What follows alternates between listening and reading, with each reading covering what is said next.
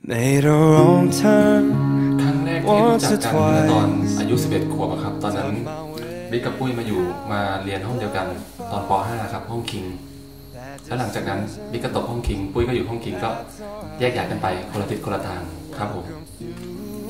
เจอกันอีกครั้ง เจอกันอีกครั้งตอนเลี้ยงรุ่นนะครับ ก็สำหรับผมตอนมาเจอปุ้ย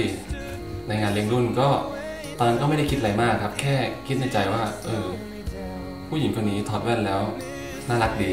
แค่นั้นแหละครับ It's all good, it didn't slow me down. Mistaken, always second guessing, underestimated. Look, I'm อุ้ย still ตอนเจอ around. บิ๊กตอนที่กลับมาเจอตอนงานเลี้ยงรุ่นน่ะก็รู้สึกว่าบิ๊กก็คือเป็นบุคลิกแบบเพื่อนที่กลับมาจากกรุงเทพอะค่ะ ซึ่งปุ้ยจะมีแบบ จะเซตไว้ว่าเนี่ยอันนี้เขาเป็นแก๊งไฮโซอะไรอย่างเงี้ยค่ะถ้าของปุ้ยของปุ้ยก็จะเป็นแบบแนวภูทรของบิ๊กกับอะไรเงี้ยจะเป็นแก๊งไฮโซประมาณนั้นก็คือเหมือนกับว่าเออก็ก็เหมือนเพื่อนคนละกลุ่มอะค่ะไม่ได้อะไรมากมายก็คือเหมือนกับอยู่กันคนละกลุ่ม แยกกันนั่ง แยกกันกินอะไรอย่างเงี้ยค่ะ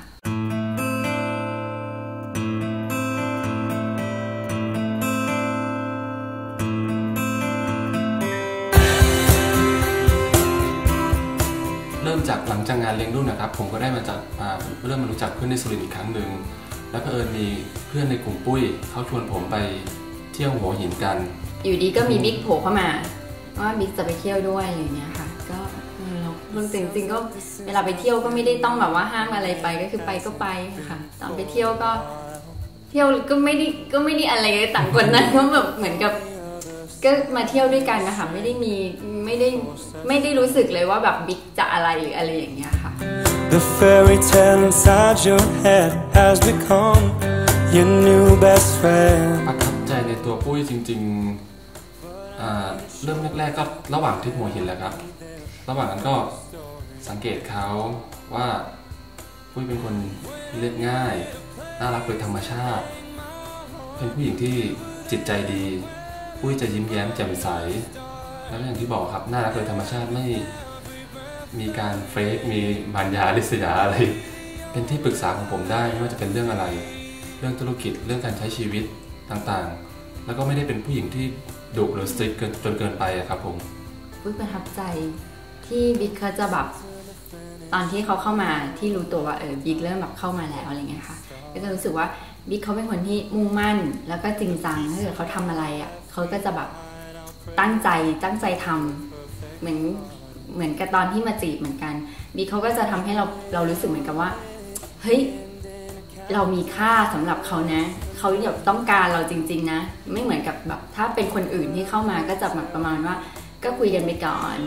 ถ้าดีก็คบไม่ดีก็เออแลกแยกย้ายกันไป แต่บิ๊กก็จะเข้ามาแล้วทำให้เรารู้สึกว่า เฮ้ยเราคือคนที่ใช่สำหรับเขาอะเขาต้องการเราไปอยู่กับเขาจริงๆอะไรเงี้ยค่ะ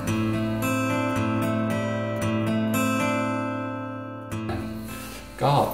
เอาจริง ๆ ก่อนหน้านี้ผมเคยตั้งปณิธานกับตัวเองว่า ผมพร้อมจะแต่งงาน พร้อมจะใช้ชีวิตคู่ ก็ต่อเมื่ออายุหลังจาก 30 เป็นต้นไปครับ แต่พอมาเจอปุ้ยก็รู้สึกว่าเออจริง ๆ แล้วตัวเองก็พร้อมนะ อยู่กับเขาแล้วมีความสุขเขาสามารถเป็นคู่ชีวิตกับผมได้ ผมมีเรื่องอะไรผมสามารถปรึกษาเขาได้ ผมก็เลยตัดสินใจขอเขาแต่งงานครับ เพราะว่าพร้อมเพราะอยากจะสร้างชีวิตครอบครัว ไปกับผู้หญิงคนนี้ครับ วันที่บิ๊กขอแต่งงานบิ๊กแบบพาไปเดินช้อปปิ้งสยามพารากอนอะไรจนแบบเพลียมาก หน้าโทมอะไรเงี้ยค่ะ แล้วก็กำลังจะกลับมาขึ้นรถ เขาก็แบบว่า แบบที่จอดรถพารากอนนะคะ แล้วก็เดินออกไปข้างนอกอะไรอย่างเงี้ยแต่ตอนนั้นอารมณ์นั้นคือแบบเพลียมากกลับบ้านหนูอยากกลับบ้านอะไรเงี้ยก็ไม่ถึงว่าบิ๊กขอแต่งงาน ตอนนั้นก็รู้สึกแบบมันงงๆนะว่าเฮ้ยที่จอดรถพารากอนเนะ แต่บิ๊กเขาก็เป็นคนอย่างเงี้ยเขาจะชอบพยายามบิ้วว่าเฮ้ยตรงนี้สวยสวยป้าสวยป้าอะไรเงี้ยเราก็แบบเออเออสวยสวยบิ๊กก็จะแบบเฮ้ยมันเหมือนฮ่องกงป้าอะไรเงี้ยแล้วก็มันก็มันก็มันก็ได้อะแต่มันก็ไม่ใช่อะไรอย่างเงี้ยค่ะแต่ตอนที่บิ๊กขอแต่งงานมันก็เลยแบบเออก็งงอะไรอย่างเงี้ยค่ะงงๆแต่ก็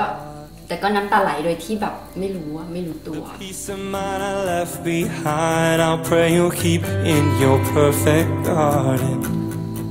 จะบอกปุ้ยว่า ทุกสิ่งทุกอย่างที่ผมพูด ระหว่างที่เราคบกันระหว่างที่ผมจีบปุ้ยหรือว่าข้อเสียต่างๆ ที่ระหว่างเราคบกัน เช่นผม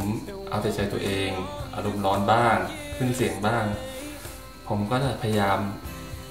ปรับปรุง และพยายามทำให้ดีที่สุดครับ แล้วก็จะตั้งใจทำทุกอย่างเพื่อชีวิตครอบครัวของเราต่อไป ครับผม จะบอกว่าคือตั้งแต่แบบวิธีเข้ามาจีบอะค่ะเว้ยต้องแบบคิดต้องตัดสินใจอะไรเงี้ยเยอะมาก บางทีก็ด้วยความที่บุคลิกเขาเป็นแบบเนี้ย แล้วก็ก่อนหน้านี้ ที่มีใครจะพูดมาว่าบิ๊กแบบเป็นผู้ชายเจ้าชู้มีแฟนเยอะอะไรอย่างเงี้ยค่ะดังนั้นทำให้ปุ้ยแบบรู้สึกเฮ้ยต้องตัดสินใจว่าเฮ้ยตกลงเลือกถูกหรือเปล่า แล้วเวลาที่บิ๊กเขาพูดกับเรา มันเคยถามเพราะว่าปุ้ยเคยถามบิ๊กไปว่า บิ๊กปกติบิ๊กดีแต่พูดป่ะอะไรอย่างเงี้ยคือไม่มั่นใจแล้วก็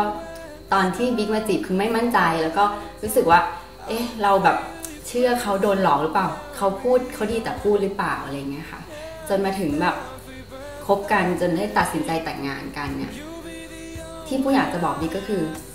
วันเนี้ยปุ้ยตัดสินใจไปแล้ว แล้วปุ้ยก็เลือกที่จะให้บิ๊กแบบเป็นผู้นำชีวิตให้ปุ้ยอะไรเงี้ยค่ะปุ้ยก็แค่อยากจะบอกบิ๊กว่า จนถึงวันนี้นิทวินาทีเนี้ยปุ้ยรู้สึกว่าปุ้ยตัดสินใจไม่ผิดเลยอะค่ะที่ปุ้ยเลือกบิ๊กมาเป็นคู่ชีวิต